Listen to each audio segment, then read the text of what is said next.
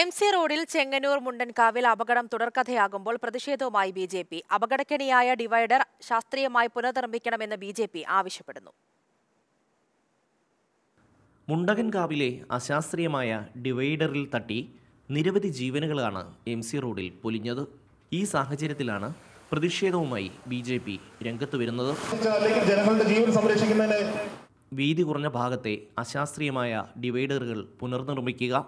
ജനങ്ങളുടെ ജീവൻ രക്ഷിക്കുക എന്നീ ആവശ്യങ്ങൾ ഉന്നയിച്ചായിരുന്നു പ്രതിഷേധം.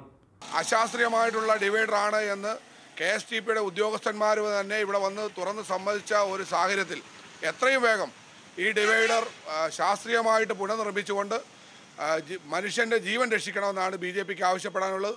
രാത്രി യാത്രകളിൽ വാഹനങ്ങൾ ഡിവൈഡറിൽ ഇടിച്ചു കയറുമ്പോൾ നാട്ടുകാർ ഭീതിയിലാണ്. നിയന്ത്രണം വിട്ടുവരുന്ന കാറും ബസ്സും ലോറിയും ബൈക്കുമെല്ലാം ഇടിച്ചുമറിയുന്ന കാഴ്ചയാണ് നാട്ടുകാർ ദിവസവും കാണുന്നത് അപകടങ്ങൾ ഒഴിവാക്കാൻ നടപടിയെടുക്കണമെന്ന് നിരവധി പ്രാവശ്യം ആവശ്യപ്പെട്ടിട്ടും ഒരു നടപടിയും സ്വീകരിച്ചില്ല. ഡിവൈഡറുകൾ ശാസ്ത്രീയമായി നിർമ്മിച്ചില്ലെങ്കിൽ ശക്തമായ പ്രക്ഷോഭങ്ങൾ തുടരുമെന്ന് ബി നേതൃത്വം പറയുന്നു. മാതൃഭൂമി ന്യൂസ് ആലപ്പുഴ.